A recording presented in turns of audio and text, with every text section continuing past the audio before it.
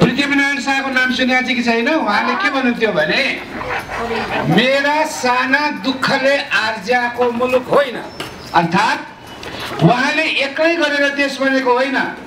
सारा जनता साना ठुला धनी गरिब सबै किसिमका मान्छेहरूले भनेर देश बनेको भोलिको देश बन्ने जिम्मा कसको? अहिलेको बालबालिका तिमीहरूको को अहिलेको जिम्मेदारी के त? भोलि देश बनाउनु छ भने अहिलेको जिम्मेदारी के? पढ्ने ठुलो मान्छे भने कि गुली मान्छे भने त? ठुलो मान्छे मात्रै भएर हुँदैन। विशाल हृदय भएको गुली मान्छे चाहिन्छ। परोपकारी मान्छे चाहिन्छ। उपकारी मान्छे चाहिन्छ। देश समाज र राष्ट्रलाई सोच्ने तिम्रै आमा दीक्षा जस्तो मान्छे चाहिन्छ।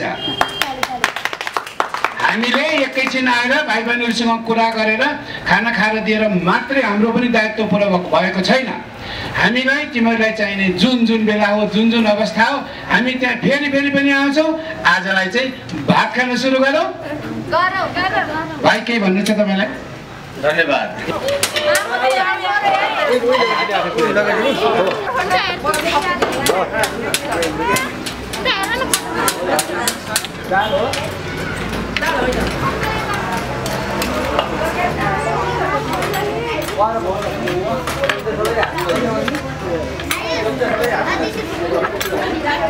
Fast. Only 10 minutes. Otherwise,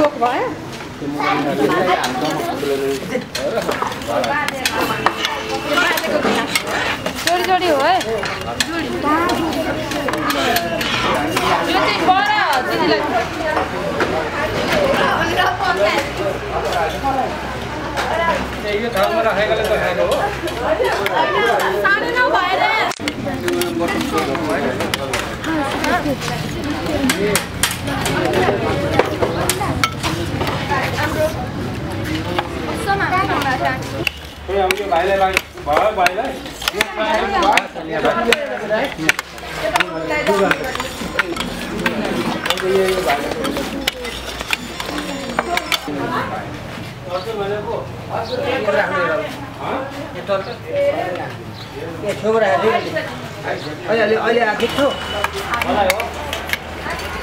कान्टु मिठो चेतन सर नमस्कार। स्वास्थ्य डिसी नेपाल अहिले म देखिरहेको छु म तपाईँ खाना भएको छ खास यो के हो? यो अब हार्मोनियम बजाउनु पर्ने मान्छे आज चाहिँ तपाईँको हातमा देखिरहेको छु। होइन मलाई चाहिँ म- कस्तो मेरा कोही आफन्तहरू साथीभाइहरूलाई केही सेयर गर्न मन लाग्यो। खुसी या दुःख सेयर गर्न मन लाग्यो भने म प्रायः आश्रममा धाउने गर्छु म चाहिँ। अनि हामी योभन्दा पहिला पनि थुप्रै आश्रममा गइसकेका छौँ। सब लगायत ब्रिटिस नेपाल लगायतको हामी गइसकेका छौँ। अघिल्लो पटक साथीहरूको बर्थडे मनाउनु बेलामा गएको थियौँ हामी। अनि अलिक भर्खरै मेरो फिल्मको निर्माता अमेरिकन निवासी विनोद पोखरेल दाई नेपाल आउनु भएको छ। रिसर्च गर्न आउनु भएको वास्तवमा उहाँ चाहिँ पिएचडीको लागि आउनु भएको हो होइन? उहाँको अध्ययन पनि यही विषयमा हो। सामाजिक काममा लागेका सोसियल कर्मीहरूले सोसियल व्यक्तिहरूले समाजमा नैतिकता कतिको प्रयोग गर्नुहुन्छ। कतिको इथिक्सलाई प्रयोग गर्नुहुन्छ भन्ने विषयमा उहाँले अध्ययन गर्दै हुनुहुन्छ। र हामी कतिपय आश्रममा गयौँ यहाँ आएर चाहिँ हामीलाई खाना खुवाउन मन लाग्यो। हामीले हिजो एउटा चाहिँ खाना खुवाउने ठाउँ टौदहमा पनि गयौँ हामी त्यहाँ खाना खुवायौँ। लगायत थुप्रो ठाउँमा गएको छौँ हामी। यो बिरोल दाईले पनि भन्नुभएको जाउँ एक दिन भयो भने केही मिठो खुवाउँ हामीले आफ्नो हातले पस्केर खुवाउन पाएदेखि। एउटा आनन्द आउँछ भन्नुभयो। हाम्रो दाई बिरोल दाई पुरानो एउटा कलाकार पनि हो। नेपाल टेलिभिजनको स्थापना सँगसँगै उहाँले अभिनय यात्रा सुरु गर्नुभएको। बिचमा उहाँले अब विदेश जानुभयो। अहिले अध्ययनको लागि आउनु भएको छ। त्यस कारण दाईको पनि चाहना अनुसारले। वास्तवमा दाइको चाहना भएर चाहिँ हामी अब तपाईँ यसको मतलब सङ्गीत क्षेत्रको सँगसँगै तपाईँ पनि अब सामाजिक सेवा चाहिँ चेतन सापकोटा चाहिँ लाग्यो भने चाहिँ मेरो होइन त। एकदम हो सामाजिक काममा लाग्नुपर्छ भन्ने सब- सबैको बुझाइ हो किन हामीले हामी जुन समाजमा रहन्छौँ त्यो समाजमा हरेक किसिमका मान्छे हुन्छन्। त्यहाँ त्यहाँ बदमास पनि छन् ज्ञानी पनि छन् दुःख पाउने पीडित पनि छन् वृद्ध छन् बालक छन् असहाय अपाङ्ग छन्। सबैलाई हामीले कमसेकम एउटा खुसी बाँड्ने दिनमा हामीले एक दिन चाहिँ उहाँहरूसँग आएर सेयर गऱ्यो भनेदेखि त उहाँहरूलाई कमसेकम खुसी मिल्छ नि त। त्यस कारणले सामाजिक काम जीवनमा सबैले गर्नुपर्छ भन्ने लाग्छ। धन्यवाद सर।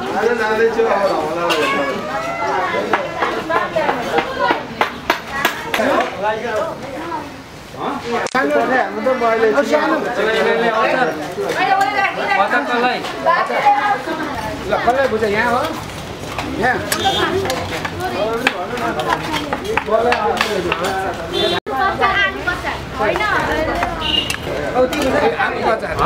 पुग्यो? दुध पिउने हो त पिउनु त पिउनु पर्दाखेरि आउँछ। बाबु के खान्छ पुग्यो सर नमस्कार। नमस्कार। स्वास्थ्य DC Nepal dot com online television धन्यवाद सर। वेलकम तपाईँले नेपाल।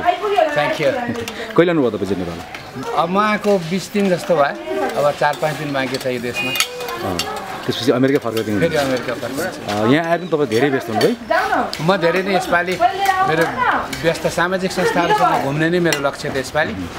र सामाजिक संस्थाहरूको क्रियाकलाप कसरी चलिरहेछ कसरी भइरहेछ टार्गेट पपुलेसन जनताले त्यसको पाएको छैछन् भन्ने मेरो एउटा रिसर्चको अवधारणा थियो। त्यसै कारण थुप्रै घुम्यौँ हामीहरू धरान विराटनगर धनकुटा दमकदेखि लिएर काठमाडौँमा थुप्रै त्यसो गर्दा व्यस्त व्यस्तै रह्यो। फेरि एकैछिन हिजो हामी एउटा अर्को संस्थामा गएको थियौँ टोखा चौधमा। त्यहाँ चाहिँ हामीले वृद्धहरू राखेको ठाउँमा गएर उहाँहरूसँग पनि एकछिन समय व्यतीत गरेर आयौँ। मिठो मसिनो सँगै बसेर खाएर आयौँ हिजो पनि। कति कति वर्षपछि तपाईँ नेपाल फर्किनु? अहिले नौ वर्ष पछाडि। के पाउनुभयो तपाईँले चाहिँ नेपालमा? धेरै धेरै कुरा धेरै धेरै परिवर्तनहरू पाएँ। मान्छेहरू थुप्रै आएका थुप्रै धेरै नजिक नजिक भएका थुप्रै मनहरू सबै टाढा भएका। बाटोहरू खन्ड्याङ खुन्डुङ यति खन्ड्याङ खुन्डुङ कि हिँड्दाखेरि खेरि जिउ हल्लिन्छ। गाडी चढेको अनुमान गर्नुको आँखा चिम्लेर बसे मात्रै थाहा हुन्छ। तर जिम्मेदारीपन भन्ने कुरा जति पहिले थियो त्यो जिम्मेदारीपन न सरकारमा न जनतामा जनताको पनि आफ्नो दायित्व हुन्छ। मैले धेरै ठाउँमा पाइनँ। मात्र सशक्त भएर निस्केको धेरै अगाडि बढेको चाहिँ पत्रकारिता। पत्रकारिता पहिलेको जस्तो चाप्लुसी पत्रकारिता रहेन छ भन्ने अहिले मैले अनुभव गरेको छु। अहिलेको मिडियाहरू पढ्दाखेरि हुँदै नभएको पनि होइन। केही छन् होला। तर मैले देखेकोमा पत्रकारिता सशक्त भएर अगाडि बढेको छ। राजनीतिक चिन्तनाको अभाव भएको हुनाले सर्व दायित्व एउटा सामाजिक दायित्वको निर्वाह गर्ने चेतनाको अभाव भएको हुनाले गर्दाखेरि जसलाई जसरी सजिलो हुन्छ त्यसले त्यसरी नै गर्ने कार्यप्रणाली बढाएर छ यहाँ। सब सबैको हितको लागि सोचौँ भनेर भन्ने कुराहरू मैले धेरै कम पाएँ। राष्ट्रमा पनि सरकारी कार्यालयमा पनि सामाजिक संस्थाहरूमा पनि धेरै ठाउँमा यस्तो पाएँ मैले। चेन्ज चाहिँ ड्रास्टिक चेन्ज हो तर यो चेन्ज मोस्टली नेगेटिभ चेन्ज मैले पाएँ। विकासको हिसाबले कस्तो पाउनुभयो? नौ वर्ष पछाडि जाँदा तपाईँ कस्तो थियो र नौ वर्ष पछाडि तपाईँ आउनुभयो होइन? कस्तो पाउनुभयो? तपाईँले केही कुरा केही कुरा मात्रै भन्नुभयो तपाईँले चाहिँ।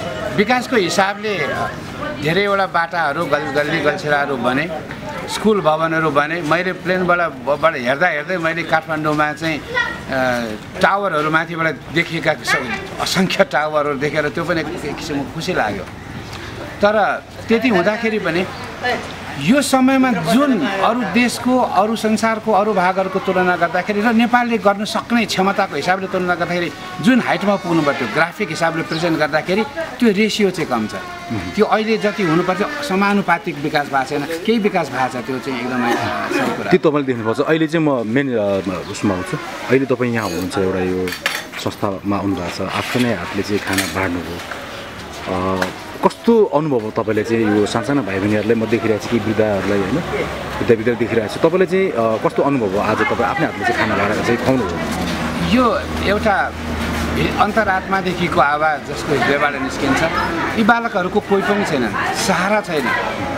यिनीहरूलाई आफ्नो भन्ने मान्छे छैन। त्यस कारणले गर्दाखेरि हामी एक दिन समय निकालेर भए पनि यिनीहरूसँग आफ्नोपन साटौँ। त्यो दुःख सुख यिनीहरूलाई मा एउटा भावना एउटा दाई आउनु भएको थियो भन्ने यिनीहरूको दिमागमा पछिसम्म रहिरहन्छ। र त्यो अनुभव मैले जुन आत् आत्मीयता जुन सामूहिकताको अनुभव गरेँ त्यो अतुलनीय अनुभव। जस्तै तपाईँ जस्तै अब धेरै नेपालीहरू जो बाहिर जान्छन् आउँछन् यसरी नै गर्छन् तपाईँ एउटा चलचित्रकर्मी हुनुहुन्छ होइन? चलचित्र निर्माण गर्नुहुन्छ तपाईँले अ, अमेरिकामा त्यो सो गर्छन् भएको छ अमेरिकामा अब गएर सो गर्छु। चलचित्रसम्मसँग मेरो नाता धेरै पुरानो छ किनभने मैले टेलिभिजनको स्थापना कालमा लग लगभग तिस चालिसवटा टेलिफिल्महरू गरेँ होला। कृष्ण मल्लजी लय सङ्ग्रौला रवि रमेश बुढाथोकी श्याम राई उहाँहरूको निर्देशनमा बनेको सिनेमाहरू मैले काम गरेँ। सङ्गीत गर्छु मैले यो- योभन्दा पहिले आएको बेलामा पनि एउटा एल्बम निकालेर गएको थिएँ। मैले कमर्सियल हिसाबले ननिकालेर सामान्य सोसियल हिसाबले निकाल्नु मलाई धेरै पब्लिसिटी गरिनँ। एक दुईवटा गीत अझै पनि अ, कहिलेकाहीँ कुनै एफएमबाट अथवा रेडियो नेपालबाट आउने गर्दछन्। तर चलचित्रकर्मी मात्रै नभएर सङ्गीतकार मात्रै नभएर अथवा गायन क्षेत्रको मान्छे मात्रै नभएर सबैभन्दा पहिले म जहाँ बसे पनि नेपाली सबैभन्दा पहिले नेपालीलाई दुख्दा मलाई दुख्छ। सबैभन्दा पहिले नेपालीलाई आगोले छुँदा भैँचालो गएपछि हामीले विदेशमै बसेर भए पनि सकेसम्म सङ्कलन गऱ्यौँ। हाम्रो सहरबाट बाट मात्रै लगभग हामीले हन्ड्रेड फोर्टी थाउजन्ड एक लाख चालिस हजार डलर सङ्कलन गरेर प्रधानमन्त्री राहत राहत कोषमा पठाएको थियौँ। त्यसले गर्दा हामीले हामीले गर्ने कुराहरू सामाजिक सेवा सेवाहरू जहाँ पनि गर्छौँ। अझ नेपालमा आएको बेलामा त घुम्न मन लाग्छ। मैले अनुभव गरेको छु हामीले पहिलो सामाजिक संस्थाहरू संस्था गर्दा दुई हजार अडतिस सालको करिबमा मा त्यति बेला राष्ट्रिय समन्वय परिषद भनेर भनेको सामाजिक सेवा राष्ट्रिय समन्वय परिषद। त्यो परिषदमा बिस तिसवटा संस्थाहरू दर्ता भएको थियो। अहिले अडतिसवटा संस्था दर्ता भएको छ। अर्थात् गैर सरकारी संस्थानहरू यति धेरै धेरै निस्किनुको मतलब सरकारले पुर्याउन सक्ने सेवाहरू पर्याप्त मात्रामा नपुर्याएको हुनाले जनताले सामाजिक संस्थाहरू मार्फत राहत पाइरहेको छौँ। त्यसै कारणले हामी पनि जे हुन सक्छ हामीले जति गर्न सक्छौँ एकमुठी होस् एक दिन होस् सहयोग धोर धेरै अथवा थोरै हुँदैन। सहयोग भावनाले ओतप्रोत भएको हुन्छ गरौँ। र यिनीहरूलाई लाई हामीले जति सप गर्ने सपोर्ट गरौँ भन्ने हाम्रो भावना जहाँ जहाँ तपाईँ के भन्न चाहनुहुन्छ? अमेरिका चाँडै जाँदै हुनुहुन्छ अमेरिकाका आफ्नो मान्छेहरूलाई म म सबैलाई सबैलाई नेपाल जोगाउँ नेपाल बनाऊ र अलिकति एकैछिन आफ्नो स्वार्थलाई छोडेर राष्ट्रिय हितको बारेमा सबैले चिन्तना गरौँ सामाजिक संस्थाहरूको मानिसहरूले राष्ट्रका नेताहरूले र आम जनताले समेत राष्ट्रको चिन्ता गरौँ। राष्ट्र रह्यो भने हाम्रो राष्ट्रको प्रेम पनि रहन्छ हामी बस्ने जमिन पनि रहन्छ। नत्र भने राष्ट्र प्रेम गर्छु भन्दा भन्दै भोलि राष्ट्र रहला नरहला यस्तै किसिमले भन्न पनि सकिँदैन। त्यस कारणले सबैले एकपल्ट व्यक्तिगत स्वार्थहरू छोडेर राष्ट्रको चिन्तना गरौँ भन्ने मेरो यहाँहरूलाई अनुरोध छ सबै नेपाली छ दाजुभाइ दिदीबहिनीहरू। सर धन्यवाद। Thank you sir